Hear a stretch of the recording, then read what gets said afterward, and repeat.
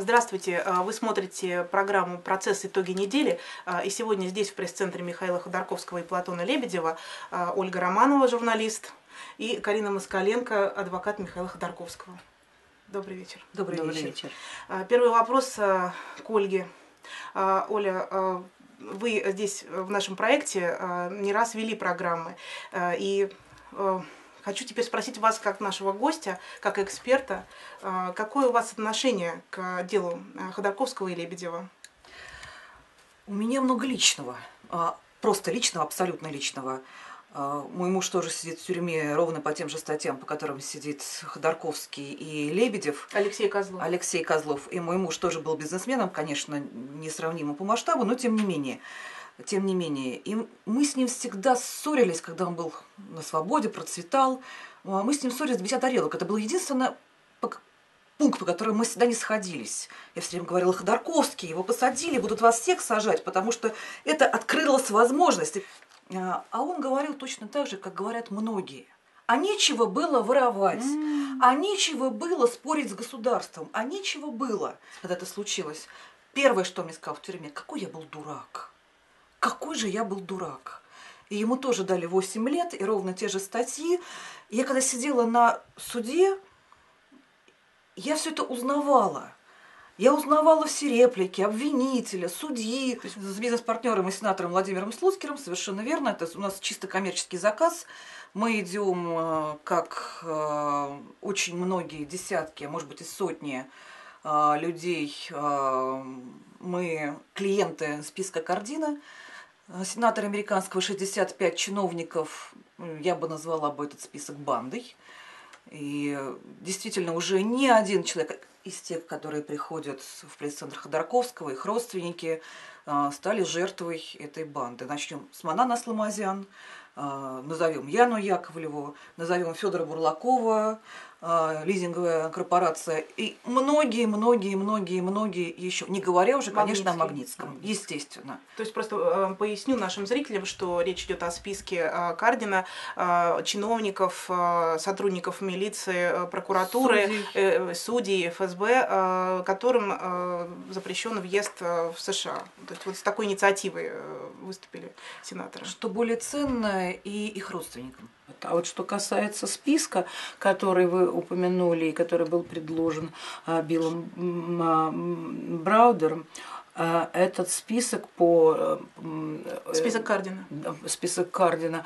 А, а, правозащитное сообщество России хотело бы продолжить. И я думаю, что э, в этот список они считают, что многие э, причастные к тому, как мучили Светлану Бухмину, те, кто причастны к фактически пыткам в отношении Василия Алексаняна, да и, в общем, по делу Ходорковского наверняка мы можем Э, видеть э, очень много э, неправого, нечестного, не, не, не, не, незаконного.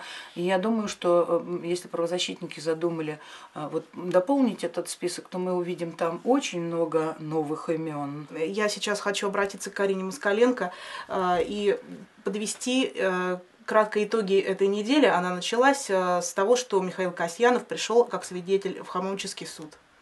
Да, он дал показания очень важные.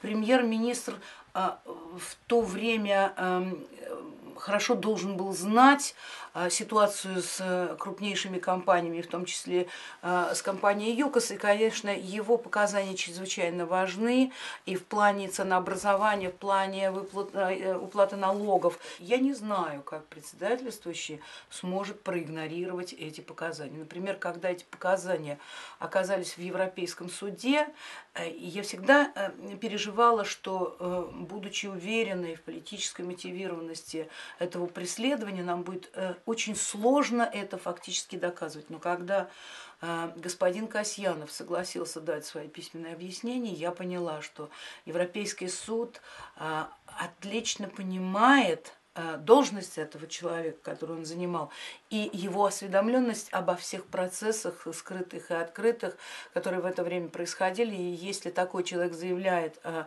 том, что это преследование необходимо было а, определенным кругам, очень высоким. И если этот человек объясняет, что никакого состава преступления по многочисленным запросам прокуратура никогда не, уста не устанавливала, и вдруг эта позиция сменилась с точностью до наоборот, то такие показания, такие сведения будут иметь очень большое значение. Ольга, как экономист э, по образованию а, и как человек, который э, в Союз э, нефти экспорте работал какое какое-то время. Э, На Янафта Москва. Да, даже так. Скажите, почему нельзя украсть 350 миллионов тонн нефти? Да уж, пожалуйста, как экономист, объясните. Михаил Касьянов а, на этой неделе, когда он премьер-министр, который знает прекрасно бюджет, запасы, состоит, как что 350 – это объем всей вообще добываемой нефти в нашей стране. И если ее кто-то украл, ну, значит, наверное, ее просто. А мы несколько было. лет этого не заметили. А я хочу вернуться к списку 36 э, свидетелей, которые были, который был заявлен защитой, э, и спросить вас, Карина Акоповна, как вы полагаете, визит в суд э, таких э, компетентных людей, э, как Муравленко и, и другие э, представители топ-менеджмента ЮКОСа, э, вот допрос Касьянова, как это повлияет на исход дела? Как может это повлиять? Э, может никак не повлиять, но это наверняка добавит убедительности доводам, которые приводит Михаил Борисович и Платон Леонидович. Вот в этом списке 36 подавляющее большинство свидетелей, это же свидетели, включенные обвинением в список лиц, подлежащих вызову в суд. И внезапно обвинение отказалось от вызова этих свидетелей. Почему? Это очень интересный вопрос. Хочу спросить и вас, э, Ольга, и вас, э, Карина Куповна, а как вам допрос главного редактора «Ведомостей»? Какая потрясающая женщина, умница, компетентная, спокойная, никто ее не мог вывести. Сколько э, с прокурорской скамьи, я уж не хочу называть фамилии, а сколько звучало оттуда некорректных слов, некорректных вопросов или, э, значит, обрывов э, абсолютно правомерных э, вопросов, не снятых судом. И когда, в общем, а, прокурор говорит, сколько денег вам заплатить, кто еще там, э, а, сколько денег перечислено на ваши офшорные счета? Ну, ты хоть спроси, может, у человека И тут нет спокойно и выдержанная офшор... Татьяна Лысова. Вы знаете, она так усмехнулась. Как а он говорит, сколько на них денег, потому что у него уже есть какая-то оперативная информация. У него же все время есть оперативная информация, что Ходорковский хочет сбежать из России. Кстати, Когда а Ходорковский что... приезжает в Россию и говорит, я не хочу никуда, я приезжаю сюда. Я предпочитаю, как он сказал, быть политическим заключенным, а, а, нежели а, политическим мигрантом. И этот человек все время говорит, что у него есть оперативная данные. Думаю, может быть, у него есть что-то такое, ну чего ну, вообще тут за клевету можно подать в суд? Вот да нет. Э, это да, ну, кон... прецедент. Да, ну, конечно, я не знаю, станет ли она с, ней, с ним связываться. Она просто... Ну, гипотетически, конечно. Вы же, вы же порочите свидетеля, вы его запугиваете. Я не понимаю.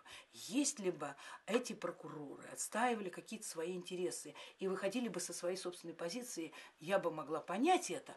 Но когда это обвинение от лица и от имени нашего с вами, друзья мои, государства, я считаю, что это просто позор.